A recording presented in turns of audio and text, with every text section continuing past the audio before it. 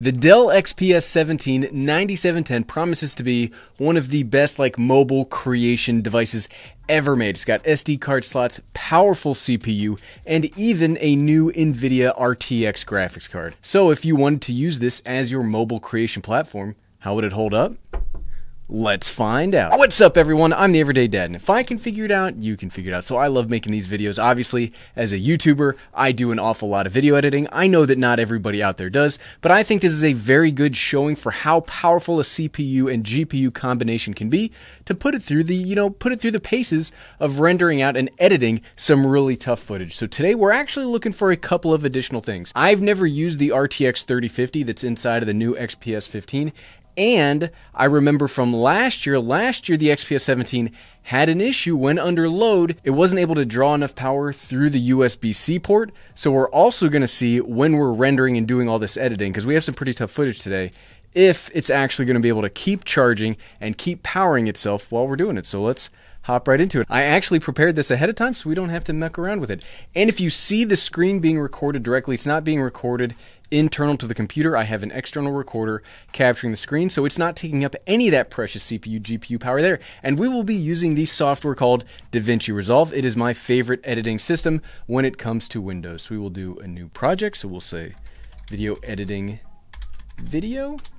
Now, there's three parts, in my opinion, when it comes to video editing. There's the processing, the editing, and the rendering. So let's we're gonna go through all of that and see how it works. Obviously, if you've seen my videos before, you'll know that DaVinci Resolve is very good when it comes to all three of those. Okay, so we will we have the unboxing video from yesterday that we're just going to import in here. Get some video magic set up on it. Do we want to change the project frame rate to 30 frames per second? Of course we do, because 30 frames per second is the best frames per second. Okay, so here is the main shot, and we'll just do, yeah, we'll do all of them. Here's the main shot, here is the second shot, and then here is the overhead shot. Did we accidentally delete one? Whoops, right there. Okay, now we have everything overlaid. I know there are easier ways to do this, but I'm a stubborn curmudgeon and I do things my own way because you know what? I'm stubborn. That's like I'm the everyday. We should rename the channel the Everyday Stubborn Dad. I'm sure my wife would uh would definitely agree with that. So here's the second clip. Let's move you into place. And then let's move you into place. You do all of the work off of the audio waveform, as you can see right there. Ooh, this is way too loud. That's really good. I love editing off. Once you learn to edit off of audio waveforms instead of having to look at it, you will find that you save so much time. Okay, so what we're going to do, we're going to unlink that, we're going to unlink that, and then we are just going to go ahead and delete all of that garbage audio that we don't need. It's called scratch audio in the biz. I don't, I'm not a professional at all. I'm just a goober that likes video. So we'll hide that. We'll hide that. Let's get to the processing where we're going to do our color editing first. I really like just how easy it is to get all of your LUTs and stuff dialed in. So we're using Vlog from the Lumix S5. So we actually have the Lumix LUTs already pre-installed. I'm a pretty big fan of it. I like how easy it is to just take it. And there we go. Okay, we've got our LUT. Now we need to Let's bring up ye old. There we go. Here's our waveform monitor, which is how I really like to edit. So we'll add a little bit of contrast, just a little bit, not too much, and a little bit of just saturation for flavor. There we go. I think that looks. Let's actually come over here. Let's do a little bit of a deep dive. How's it looking? that looks pretty. That looks pretty good. Okay, so color is good. Let's actually come over here to the gallery. We will grab a still because what we're going to do, we're going to come over here, which is shot in the exact same picture profile, and we are just going to apply grade. There you go.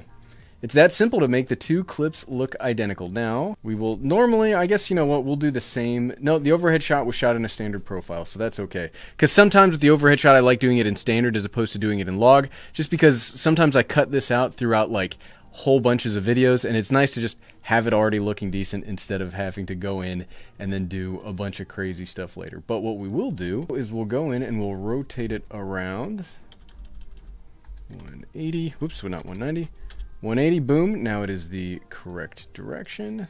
On, let's make sure, okay, yep, looks good, looks good, so we'll hide that, hide that. Now, what I want you to look at is while we're doing this, have you seen any stutters? Have you seen any slowdowns? This is shot in what's called H.265, which is very tough for traditional processors. But now with Ryzen and the Intel chips being so powerful, I wouldn't imagine that we're going to have too many issues with that. So the way we're going to see if there's an issue is right up here.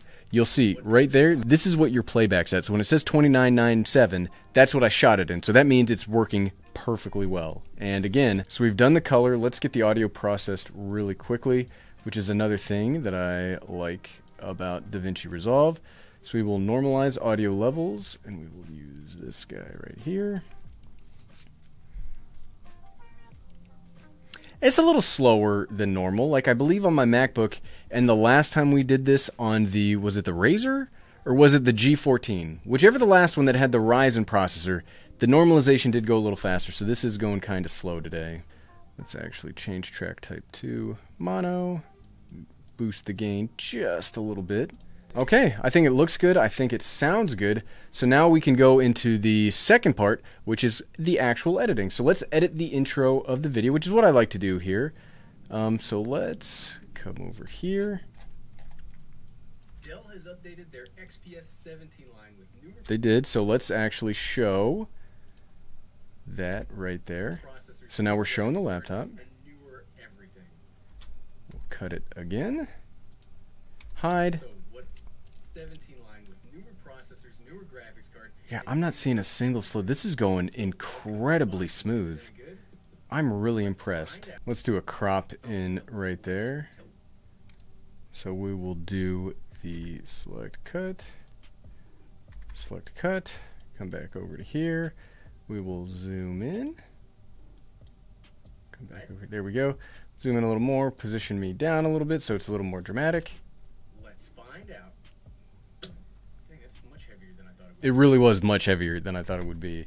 Okay, we'll come back over here. What's up, everyone? So let's cut straight to the good stuff. Okay. Enhance. Enhance. What's up, everyone? I'm the Everyday Dad. If I can figure it out. Whoop, whoop, whoop. There's the there's the pointing. You see, we can see it on the waveform, so let's cut there. Man, that was a quick you can figure it out uh, yesterday. Let's also come over here.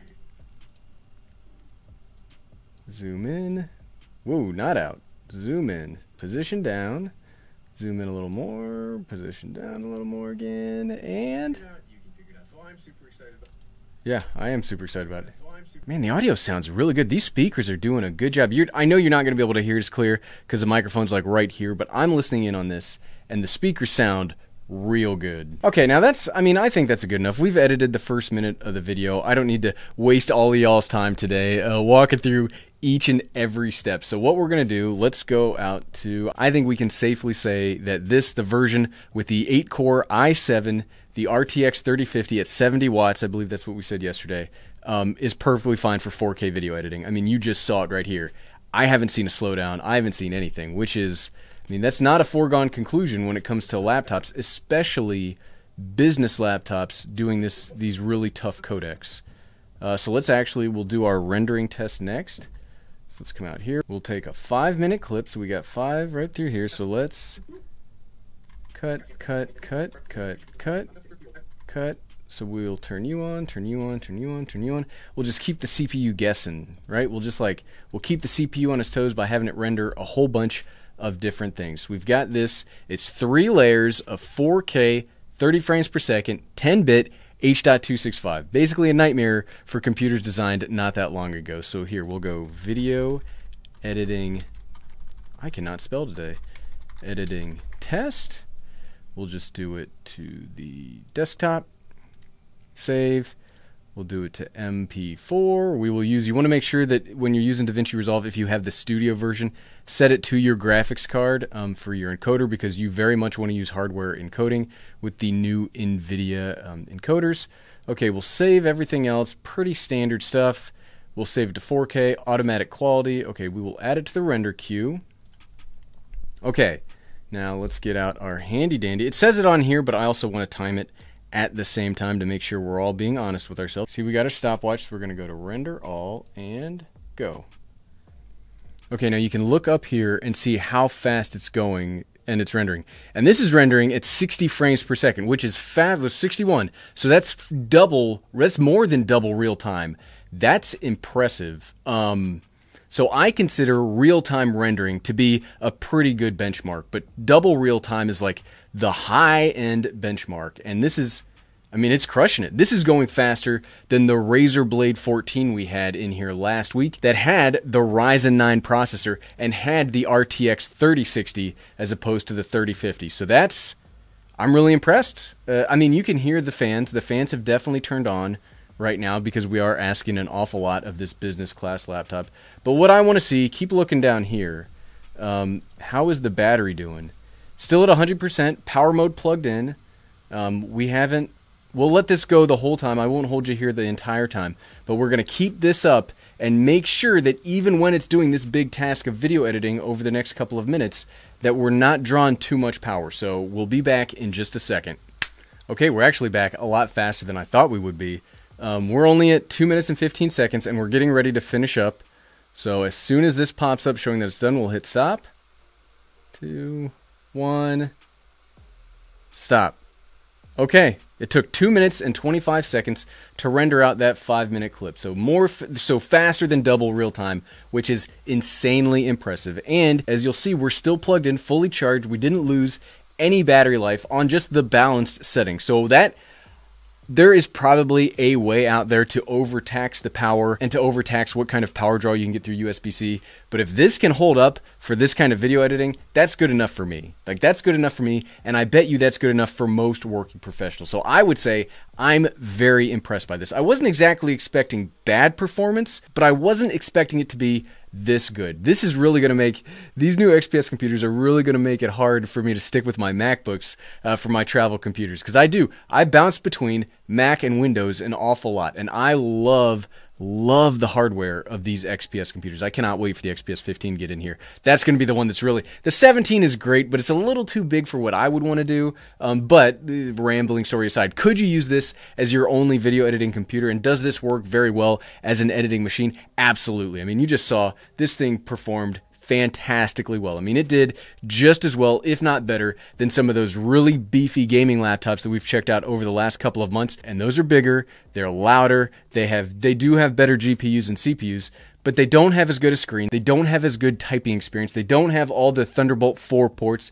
They don't have SD card slots. So this is the XPS 17 is a very enticing media creation platform. Like I'm very impressed by that. And if you like this video and you would like to check out the unboxing and my initial impressions of this computer, you can find that by clicking right here. Click, click, click, click, click, click, click.